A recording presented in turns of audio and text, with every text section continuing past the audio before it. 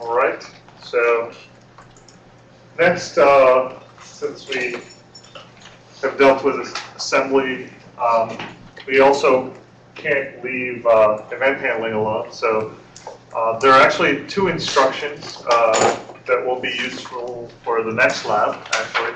Um, and these instructions are used for synchronization. Uh, one of them is called wait for event. And all it does is it puts the ARM processor into a low power mode and it just waits around until a, either a send event, which is the next instruction that I have down here, uh, either the send event occurs or a physical IRQ, FIQ, or an asynchronous abort occurs.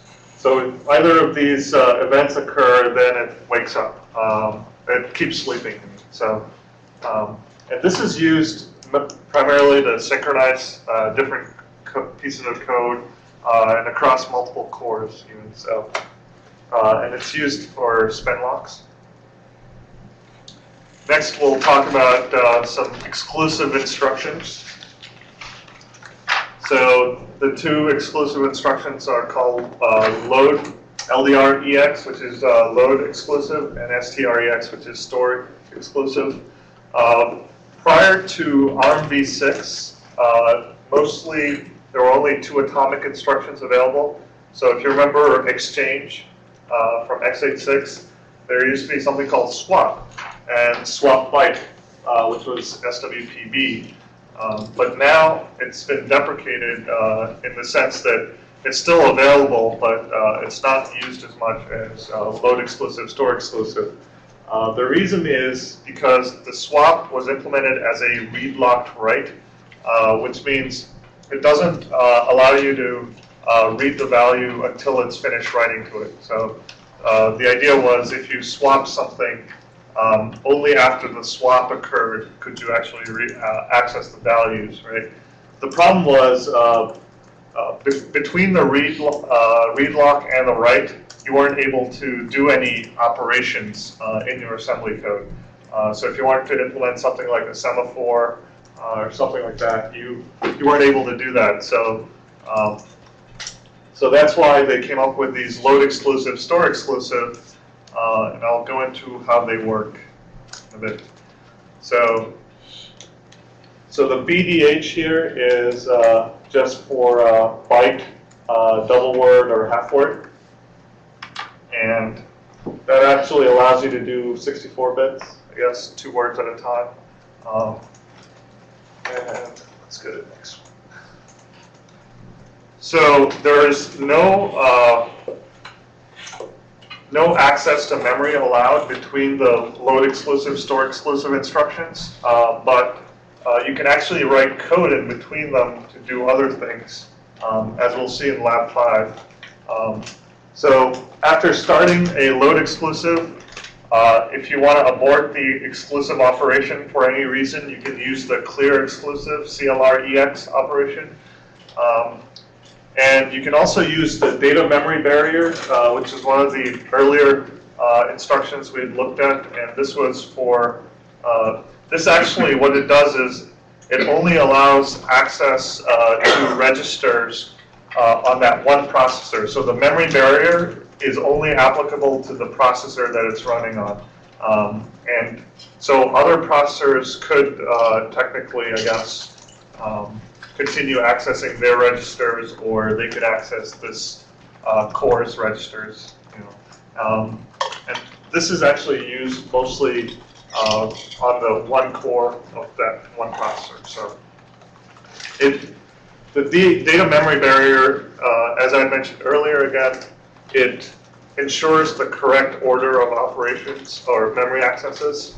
And it only after it's finished, uh, you can turn off the data memory barrier um, using the send event actually. So uh, we'll see that in the atomic lab. So you guys go into your emulator sure.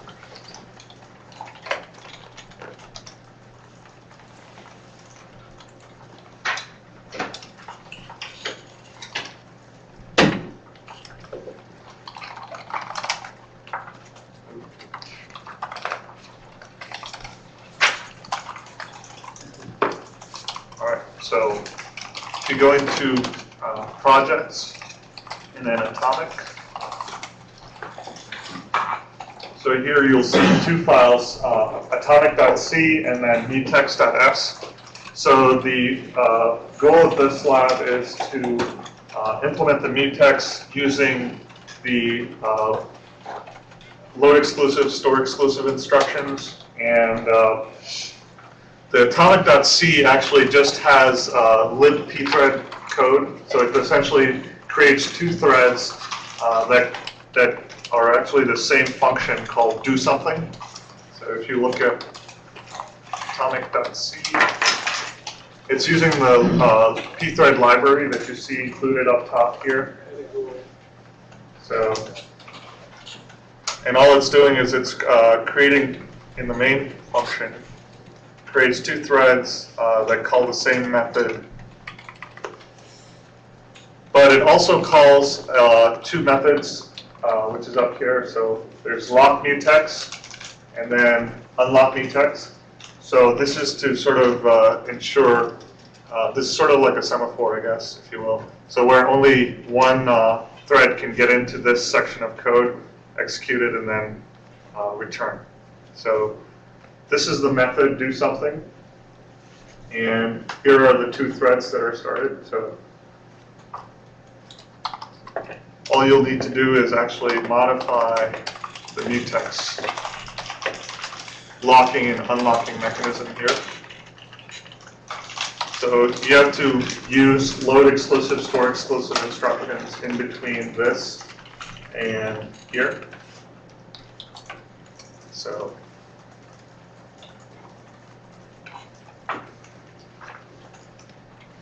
I've actually included the solution.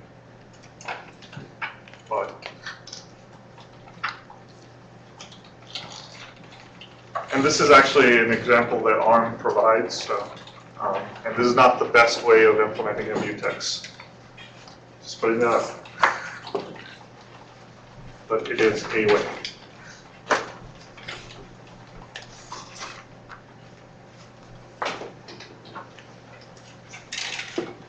So, some notes.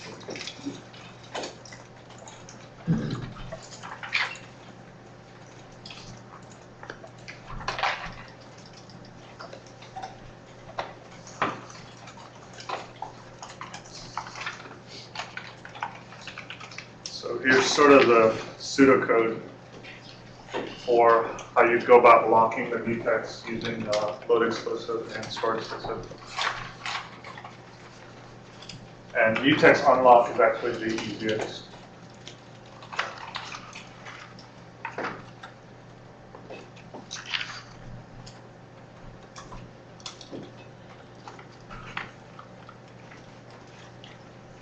Actually, if you, if you'll see in your uh, assembly mutex code, there's actually a variable for unlock value, so, or a- it's called equals unlocked, so you can use that. So once you've written the code, you can actually type make and uh, run the executable. Test it out. So as compared to my notes, I believe the architecture reference manual is given.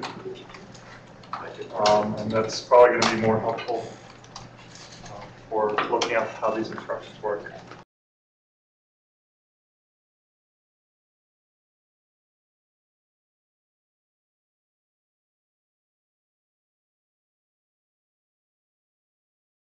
Yeah, um, just another quick announcement. If you guys want to save all your work uh, at, at the end of the class, I would recommend that you use the uh, SSH folder that we set up uh, inside the VM. Um, so if you go to like places, ARM, ask you.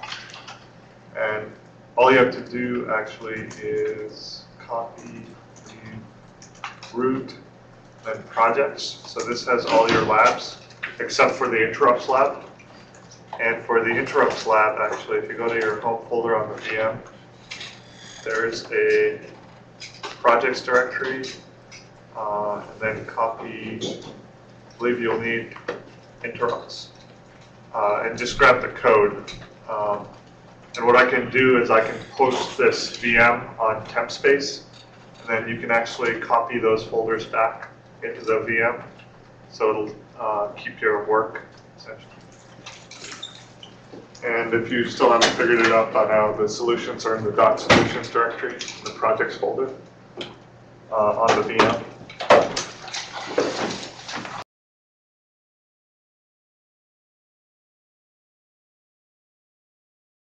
So there are actually two things um, I'd like to highlight.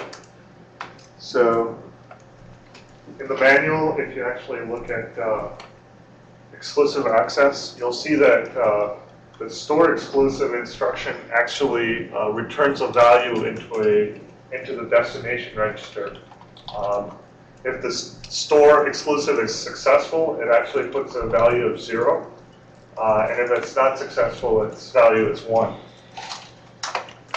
And uh, so essentially what they've done is uh, they've taken the swap instruction, which takes the read lock uh, right, and kind of separated it into this load exclusive, which is sort of the read lock piece, and then the store exclusive, which is also sort of a write lock.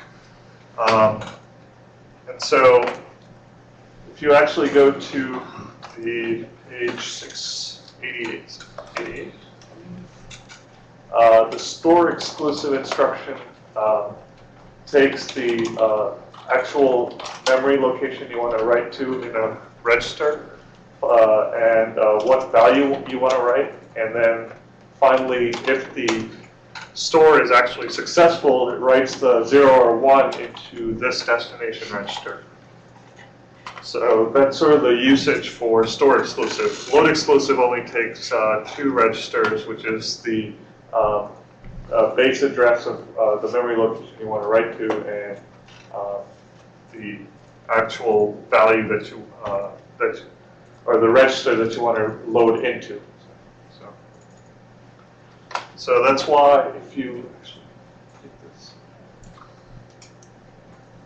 So sort of the pseudocode, um, and this is sort of based on what uh, Art came up with. So if you have a better solution, please do let me know. Um, so, so essentially the mutex lock function. So a mutex tries to uh, allow access in a safe manner to a critical section of code, right, uh, that's shared between two processes. Um, so that's what a mutex does. And if you look at um, the code under uh, atomic or yeah atomic.c, so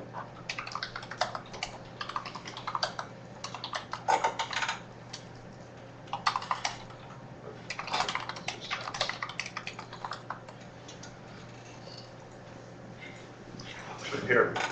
So if you look uh, in atomic.c, you'll notice that there's a, there's an argument being passed to lock mutex, and it's called mutex locks, and it's defined as an unsigned integer up here, and it's initially set to the value unlocked, which is defined to be zero, uh, and locked, which is uh, defined to be one.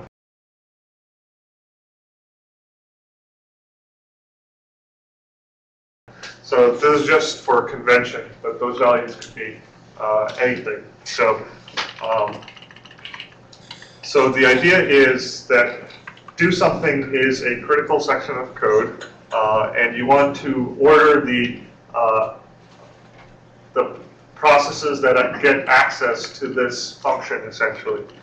Um, and once that process is done, it unlocks the mutex and allows the other one to enter essentially. Um,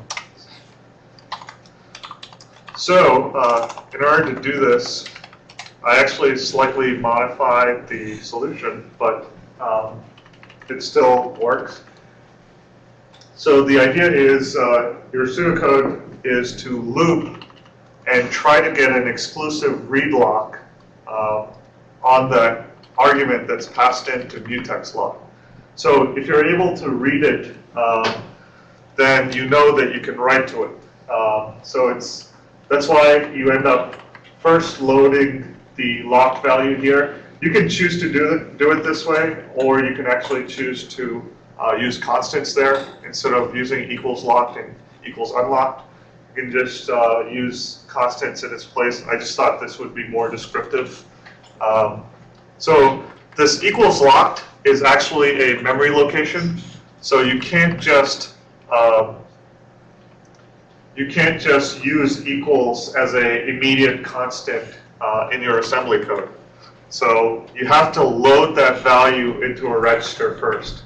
So in this case, for the locked mutex code, uh, I just ended up loading the locked value and the unlocked value into R1 and R3. And then uh, you try to load the value from the argument that's being passed in through R0. Uh, if you remember, the mutex lock call in atomic.c uh, passes the address, the pointer to the unsigned integer mutex lock. So that's an address, and you try to do an exclusive read on it. And then what you do is you compare R2, uh, which is the value that you just read, to the actual um,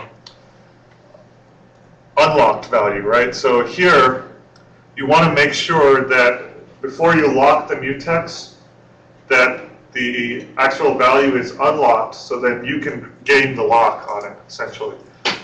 So, so once you're able to do that, um, then what you do is, this is a, uh, if you remember the, the conditional mnemonics, um, where this is actually a store exclusive if equals.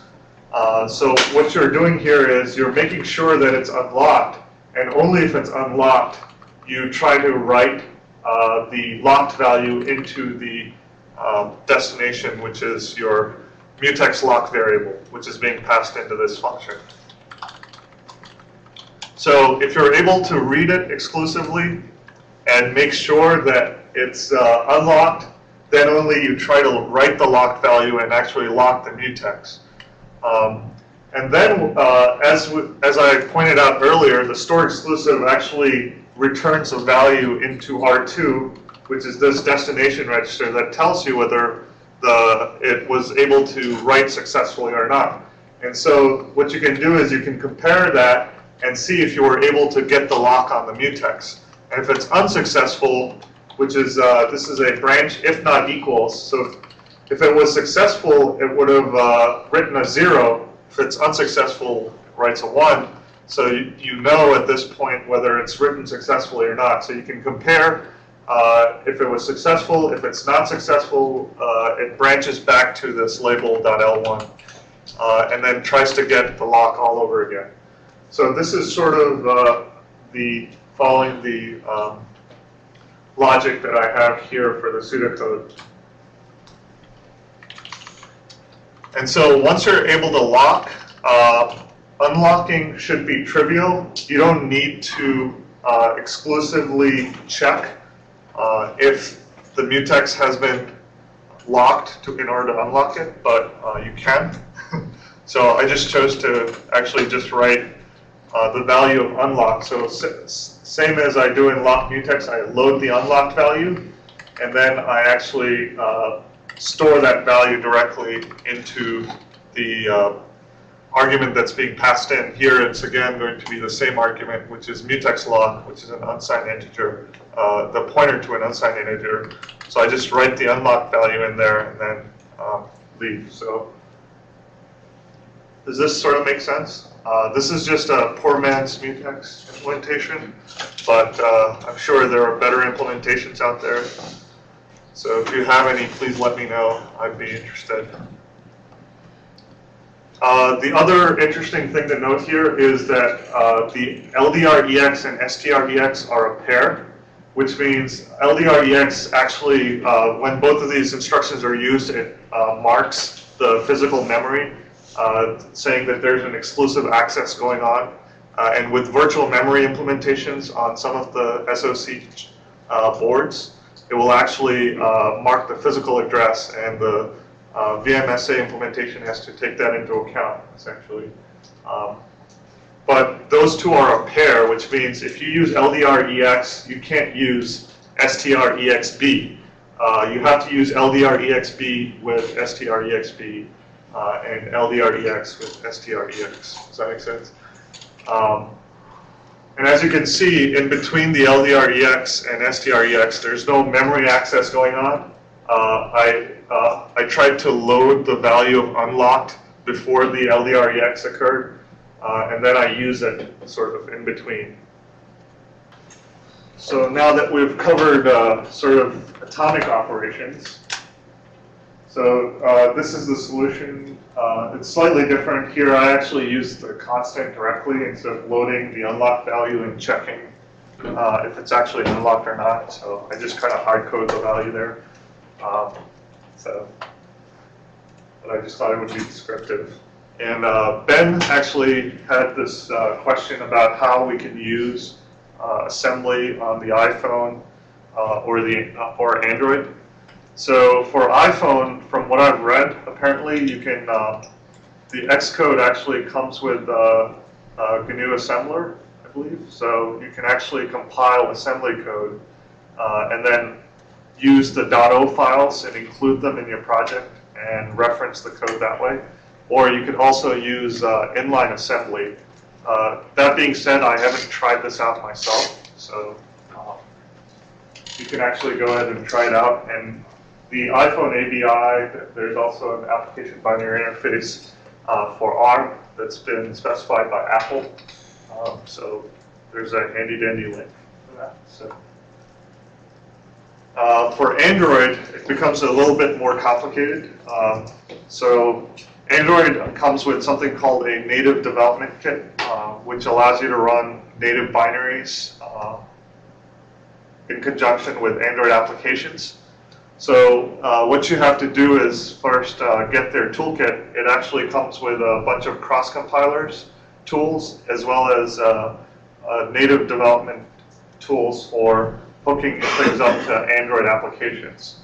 So first what you do is uh, you actually write a stub code in C, uh, just regular C that calls the assembly method like we did with our atomic lab, right? Um, and but the method has to take a specific uh, number of arguments, and you have to use JNI types. So there's something called JInt for an integer that's 32 uh, bits long. So you have to be wary of the ARM data sizes and compare them with the JNI type data sizes, uh, and just use the appropriate uh, data type. Uh, so once you have done that, you can uh, you actually can copy a template makefile that's available for Android NDK uh, and then compile this C stub code uh, with the assembly. Um, and it generates uh, some static objects. And uh, then what you can do is uh, you use the NDK tool to actually uh, build and using that, uh, all that does is it uses the makefile to uh, build the actual objects. And then finally, in the Android application, uh, you declare a Java function uh, with the label native.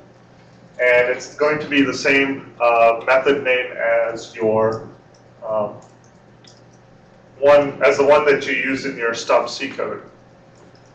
And uh, the package name, interestingly, when you de uh, declare this uh, C stub code, you actually have to give a unique uh, function uh, function name that includes the package name. So uh, I can actually show you an example here. So this link actually has much better information on this, but you actually embed your package name into your JNI C uh, stuff. So here, as you can see, uh, actually you can't see yet. So here, uh, you would give the package name uh, followed by the actual function name. So you say Java, com, uh, Eggwall, Android, and that's sort of the package it shows up in in your Android application. And so you just say uh, package followed by com.eggwall.android.assembly, you know, in this case. Um, and so once you have that, uh, you can actually declare this function using the native keyword, and then um, you can actually, you have to, have to also load the library using system.loadLibrary, uh, and it loads the native library, and then you can make calls to that method, essentially, in your Android application. Uh, does that sort of make sense? So the, uh, Ben is asking what the Apple URL is. Uh, I've actually posted this uh, with the slides uh, on my, in my transfer folder. So uh, it's actually developer.apple.com, library, iOS, documentation, Xcode, conceptual. Yeah. So So with that, uh, I've also included some useful links, um, and this sort of concludes the class. Uh, so in retrospect, we kind of looked at, we started off with sort of what happens at power on with these ARM boards. Uh, you enter the reset mode, right? You're in supervisor mode, and then you start executing, generally it's the bootloader, uh, at a specific address. And once the bootloader loads, then it runs the kernel and loads the RAM disk, starts running that, and then you can run whatever uh, OS on top of the kernel, whether it's Android, Linux. Um, and then we sort of went through what the assembly operations are, and uh, we went over how to use GDB essentially on ARM, and finally, we looked at uh, how buffer overflows might work and sort of the calling convention that ARM uses for um, parameter passing.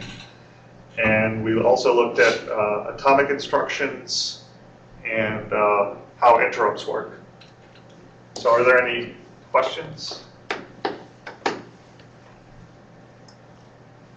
And we also looked at how to use inline assembly and uh, how to reference assembly code in C. So,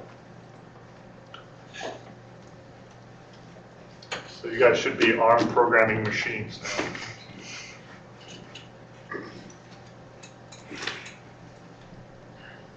Also, please feel free to send me uh, any suggestions, corrections, uh, or ideas that you may have. Um,